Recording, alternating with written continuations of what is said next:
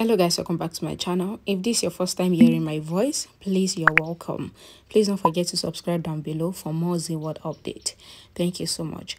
So yesterday update about jodha and akbar stopped where everyone begged jalal to release bakshi and forgive her but jalal refused and jodha said that she would go and convince jalal. So let's continue from there. Outside Rukkaiya says to the women that Jalal has decided and he doesn't change his decisions. And Salima says that but a brother that is inside Jalal is worried for Bakshi. Maham Anga says that but Jalal doesn't have a heart, so he would not change his decision. And Jodha says that she wants to try once more to convince Jalal. Maham Anga says that Jalal rejected Amida's request, who is even his mother. Then how would Jalal accept Jodha's request? Rukkaiya said that the Jodha think that Jalal would listen to her after he refused to listen to everyone else. And Jodha says that till now, they were talking to a king, but she wants to talk to a brother. And Bakshi is also a family member and she cannot see her like this. Amida says that if Jodha wants to try, then she will not stop her and Jodha leaves. Rukkaiya says that nothing would happen and Jodha would come back after getting nothing from Jalal. And she have the fear that Jalal might even punish Jodha for taking the side of a culprit. Jalal was in thought and he remembered Jodha telling him that Bakshi is pregnant and Jalal comes to the weight balance. Jodha comes there and says that she knows that Jalal only comes to the weight balance whenever he is worried for something and Bakshi is his sister. Jalal says that but justice doesn't know relationship and Jodha says that Jalal can give justice to anyone whether it is Sharafuddin or Adham or Abdumali or even Bakshi. But what about that unborn child that is not at fault? Jodha says that when the child grows up, then it would be separated from his parent, and the child would question Jalal's rules, and it would hate the Mughal rules, so Jalal should think about that innocent child. Jodha says that when Shivani ran away, Jalal did not punish her because Jalal knew that she was not wrong. Jodha again says that the rule is that if the person that someone did wrong against forgives the culprit, then the offender's punishment would be over. And when Rukkaiya forgave Adham, Adham was freed and the same thing happened when Akim asked Jalal to forgive Barma. Then now, she is also saying that she is forgiven Bakshi. Then why is Jalal not forgiving her? Jodha says that she cannot see Bakshi in pain and Bakshi is Jalal's sister so she is pleading to Jalal to forgive her and Jalal should think about Bakshi's child even if it is once and Jodha leaves. Jalal was thoughtful and he put his ring in the weight balance. In the room, Bakshi was about to fall but Jalal owed her in time and Jalal asks her if she is alright and Jalal also scolds the servant that Bakshi is pregnant and why are they not taking care of her. Jalal says to Bakshi that she always do mistake, but she is pregnant and she would make him an uncle, so she should take care of her health. Bakshi was overwhelmed and she hugged Jalal, and she asked that why did Jalal not come before, and she used to curse herself for what she did. Jalal says that he had to come because since Jodha forgave her, then why should he be angry with her? And Jalal tells Bakshi that they should go back home. And as Jalal was taking Bakshi to the palace, Jodha comes there and Jalal looks at Jodha and he leaves. Bakshi says thank you to Jodha because Jalal blessed and talked to her because of Jodha. And Jodha says that sister don't say thanks. And Bakshi asks Jodha and says that she is a great sister-in-law.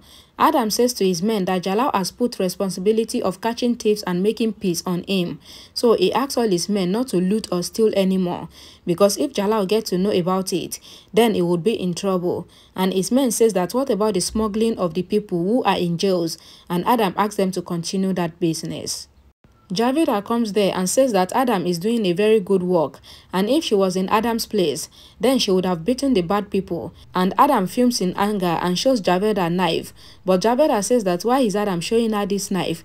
And Adham should show the knife to bad people instead. And Adham asks Javeda to go and make something for him to eat. And Javeda leaves. Maham Anga and Rukkaiya were playing chess and Maham Anga says that Rukkaiya is not seeing what Jodha is doing. Rukkaiya says that she has made space between Jalal and Jodha, and Maham Anga says that but Jalal did what Jodha said in the case of Bakshi. Rukkaiya says that what Jalal did was right in case of Bakshi, and Jalal did not do it because of Jodha, and there's only one queen in the chairs, and in Jalal's life, she is the only queen. Maham Anga showed Rukkaiya and says that her king is being surrounded by her own pawns, so Rukkaiya lost. Rukkaiya says that how can this happen? And Maham Anga says that Rukkaiya's queen in the chess game was overconfident about her position and she left the king behind and she was later surrounded by pawns. Rukkaiya says that she is going to sleep and she leaves. And Maham Anga thinks that why does she get the feeling that Jalal is going to be snatched away from Rukkaiya? Amida and the ladies comes to meet Bakshi and all the royal ladies were having an emotional reunion with Bakshi. Amida says that she could not come to meet Bakshi in the prison because being the king's mother, she was bound by law to come and see Bakshi. Rukkaiya and Maham Anga congratulate Bakshi and Jodha also congratulate Bakshi and everyone were happy. Jodha was sitting near the bathtub and Moti was combing Jodha's hairs and giving steam to her hairs. Moti asks Jodha that what is she thinking. Jodha says that it is about Jalal because Jalal is very difficult to understand because Moti should see the case of Bakshi. Jalal loves Bakshi a lot but because of one mistake, Jalal gave Bakshi a punishment. Jodha says that Jalal has great control on his heart but when justice is concerned, Jalal doesn't see anyone. Jalal comes in and listens to Jodha's talk and Jalal signals to Moti not to let Jodha know that he is here. Jodha says that she is happy that Jalal listened to her because Bakshi needs her family at this point.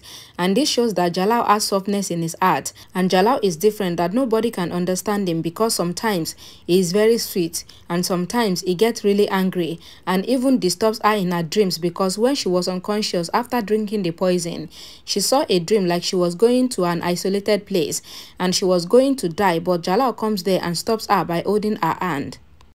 Jalal smiles listening to Jodha and Jalal comes from behind and takes Jodha's hairs from Moti and Moti leaves the room.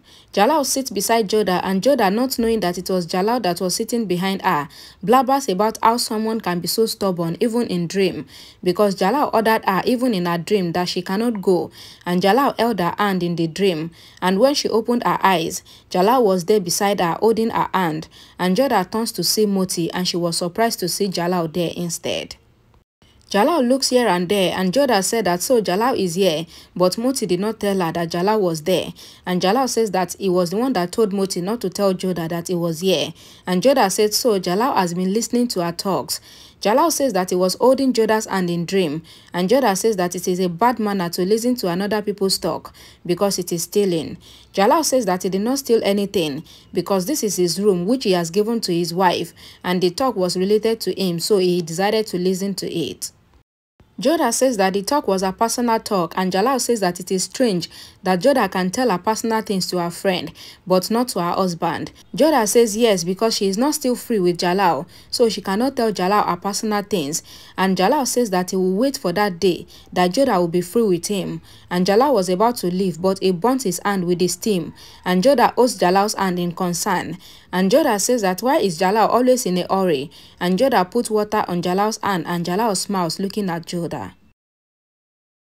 Jalal says that Jodha should remember the dream that she is going to see tonight and maybe Jodha might decide to tell him and he leaves from there.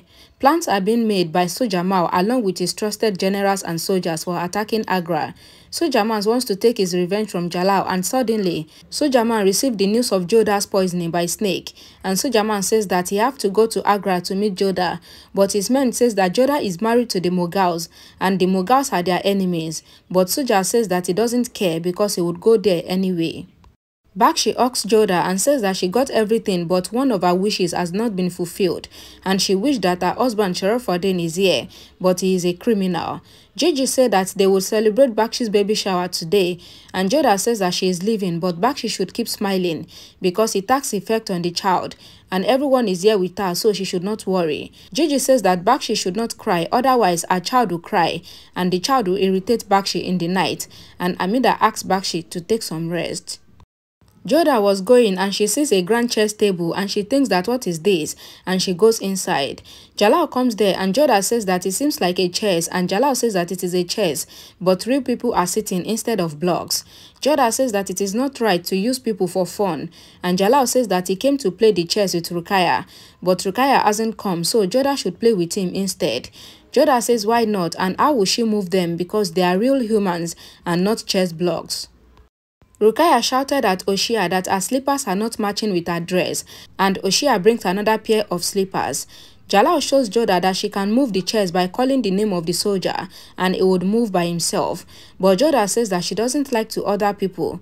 Jalal says that it is just a game and if Jodha win, then it would give Jodha whatever she want and Jodha says that they should play then.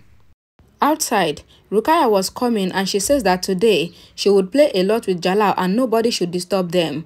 Inside, Jalal says that he usually loses to Rukkaiya, but Jodha had made Rukkaiya lose to her once, so this game will be difficult for him. Jodha says that winning and losing is a part of the game, but they should play with smile on their faces. Jalal says that it is true and he orders his horse to kill Jodha's pawn, and Jodha's smile fade away, and Jalal asks that what happened. Jodha says that she is not understanding this chess, and Jalal says that Jodha was the one that said that they should smile even if they are losing. Then why is Jodha ranting and Jodha started playing silently? Rukkaiya sees Jalal playing with Jodha and she got angry and says that Jodha is coming between she and Jalal. Jalal says that it seems that Jodha is liking the game and Jodha says that she has played Jalal's trick on him. Rukkaiya says to Oshia to remain there and when Jalal and Jodha finish the game, then Oshia should ask Jalal to meet her and Rukkaiya leaves the place. Oshia says to herself that Rukkaiya has started fainting from the time Jodha regained her consciousness. That's true. Inside, Jalal wins the game and says that Jodha deliberately made him win. Jodha says that she was just learning the game and Jalal says that according to the rule of the game, then Jodha would have to give him something for winning the game. Jodha says that what can she give to a king and Jalal says that Jodha should think of what she can give him. Jodha says that she wants to give Jalal something that would make Jalal become a very good king and the people would love Jalal. And Jalal asks the soldier to leave and they all leave. And Jalal asks that what do Jodha wants to give him. Jodha says that she is not the one giving Jalal a gift and it is Jalal that would give a gift to Bakshi on her baby shower. Jalal says that after losing the game, Jodha is still ordering him. So what should he give Bakshi as a gift? Jodha says that Jalal's gift to Bakshi should be something that is most special to Bakshi. And Jalal asks that what? Jodha says that the gift should be Bakshi's husband Sharafuddin and Jalal was shocked. Jalal comes outside and meets Oshia and Oshia says that Rukkaiya wants to meet Jalal. Jalal comes to Rukkaiya who was fuming in anger and Jalal says that he knows that Rukkaiya is angry because he played the game with Jodha instead of her. But he have to tell Rukkaiya that the pleasure he got from playing the chess game with Jodha, he has never gotten it with Rukkaiya before. And Rukkaiya got angry because Jalal has also started praising Jodha in her presence. I don't know if I'm the only one, but I feel like Rukkaiya is so stupid. Your husband asks you to come and play game with him, and you are there looking for a shoe that would match your clothes until another woman started playing the game with your husband. That's so foolish. But anyway, that's by the way. If you like this video, please don't forget to like it, don't forget to share it, and I'll see you all again in my next video. Bye guys.